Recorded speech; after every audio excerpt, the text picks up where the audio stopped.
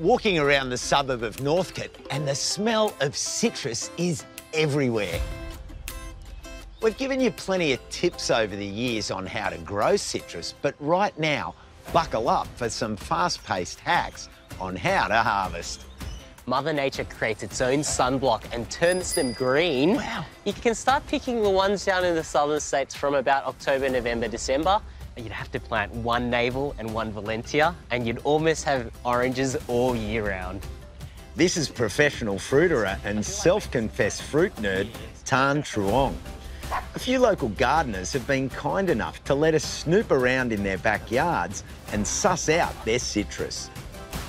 Citrus really has its own set of rules. How important is timing in all of this?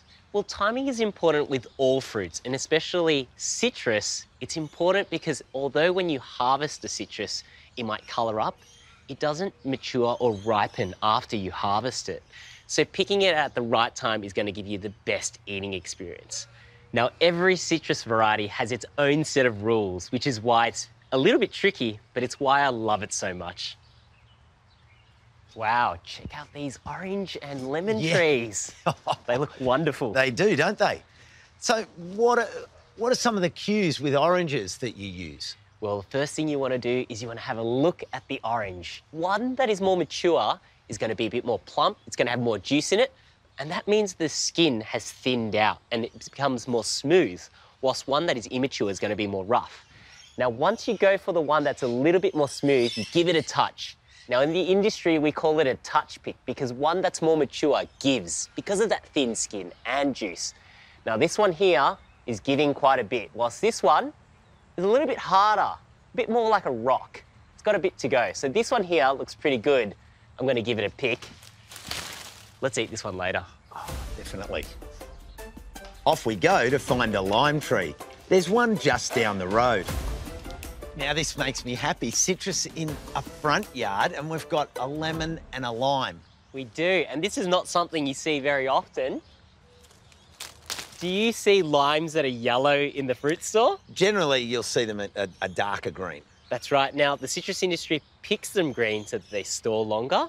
Transport better. Yep. Is there much of a flavour difference with the colour? So when they're green, they're a little bit more bitter, but when they're yellow, they're a little bit more sweet. And they generally have a little bit more juice in them. If you've got a lime tree in your backyard, you can wait for them to go yellow, pick them off, juice them, and then freeze them to store them. Now, I believe there's more citrus out the back. Our citrus senses are tingling and telling us there's something sweet growing out the back. A mandarin tree. I notice some of these mandarins have a bit of a green tinge. Does that affect their taste and flavour? Now, mandarins don't need to be fully orange coloured to be ready. Now, the citrus industry actually put some natural ethylene to make the colour of a mandarin completely uniform orange colour. But it drives me nuts Yeah, because I agree. do you love the beauty of that little green blush? Exactly, and it's how nature presents it. That's right, that's right. And I hope everybody understands that, especially those who have a mandarin in their backyard. We don't need perfection. Perfection is around us. exactly, exactly. See you later, girls. Our last stop is to visit a garden that I've heard has a tree absolutely laden with a slightly controversial citrus, kumquat. have a look at this kumquat right Oh. here. It oh, is The fully skin ripe. just came off. Now, you got to have a try of the skin. Have a bit of that. Sweet. It is sweet.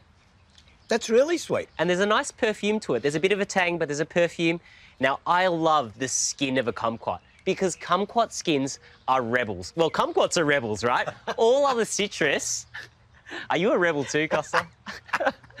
All other citrus, you don't need the skin to be fully coloured, but with a kumquat, because the skin is so sweet, you want it to fully colour up before you harvest it and you eat it. Now, I like to eat kumquats whole.